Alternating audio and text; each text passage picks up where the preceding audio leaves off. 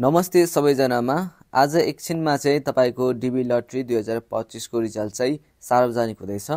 यदि हजुरहरूले पनि अक्टोबर नोभेम्बरमा चाहिँ डिबी लट्री दुई हजार पच्चिसको लागि फर्म भर्नुभएको थियो भने चाहिँ तपाईँहरूले चेक गर्न सक्नुहुन्छ। त्यसको लागि हजुर चाहिँ गुगलमा गएर चाहिँ DB program dot state dot gov भनेर चाहिँ तपाईँहरूले चाहिँ लेख्नुपर्ने हुन्छ। र तपाईँहरूले चाहिँ यो साइटमा गएपछि चाहिँ यहाँनिर इलेक्ट्रोनिक डाइभर्सिटी भिसा भनेको हुन्छ अनि तल चाहिँ दुई हजार पच्चिस अनि इन्ट्रान्स स्टाटस चेक भनेको हुन्छ। यो वेबसाइटमा गएर चाहिँ हजुरले चाहिँ यहाँनिर यस्तो खालको इन्टरफेस आएको हुन्छ यहाँनिर जानुपर्ने हुन्छ। र यहाँ गइसकेपछि चाहिँ तपाईँहरू सर र एकचोटि पढ्न सक्नुहुन्छ के के के के भनेको छ यहाँनिर। अनि तलतिर स्क्रोल डाउन गरिसकेपछि हजुरको चाहिँ यहाँनिर चेक स्टाटस भनेको हुन्छ। यहाँनिर गएर चाहिँ हजुरहरूले चाहिँ क्लिक गर्नुपर्ने हुन्छ। यहाँ गइसकेपछि हजुरको चाहिँ यस्तो खालको इन्टरफेस खुल्छ। यहाँनिर पनि तपाईँहरूले चाहिँ हेर्न सक्नुहुन्छ the US department of state electronic diversity visa भनेको छ। यहाँनिर कन्टिन्यू गर्नुहोस्। र यहाँ आइसकेपछि चाहिँ मेन हजुरहरूको चाहिँ वेबसाइटमा आउँछ। यहाँनिर चाहिँ हजुरहरूले रिजल्ट चेक गर्ने हो। यदि हजुर चाहिँ चाहनुहुन्छ भने म तल यसमा लिङ्क पनि तल डिस्क्रिप्सनमा चाहिँ राखिदिनेछु।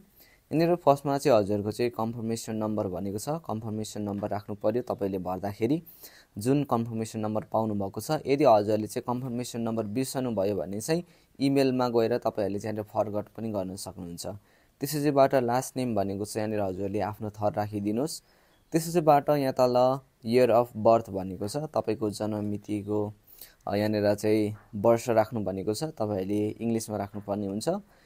त्यसपछिबाट तलतिर आउँदाखेरि चाहिँ यहाँनिर अथेन्टिकेसन भनेको छ। यहाँनिर अथेन्टिकेसनमा चाहिँ हजुरहरूले चाहिँ यहाँ तल भएको क्याप्चालाई चाहिँ राख्नुपर्ने हुन्छ।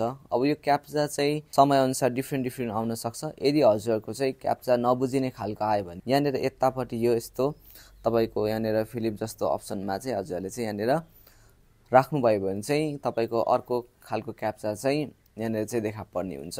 त्यसपछिबाट चाहिँ हजुरहरूले चाहिँ मुनि सबमिट भन्ने अप्सन छ। यहाँनिर चाहिँ सबमिट गर्नुपर्ने हुन्छ। र सबमिट गरिसकेपछि यदि हजुरको चाहिँ डिबी र सबमिट गरिसकेपछि यदि हजुरको चाहिँ डिबी परेको थियो भने चाहिँ यस्तो खालको चाहिँ इन्टरफेस सो हुन्छ।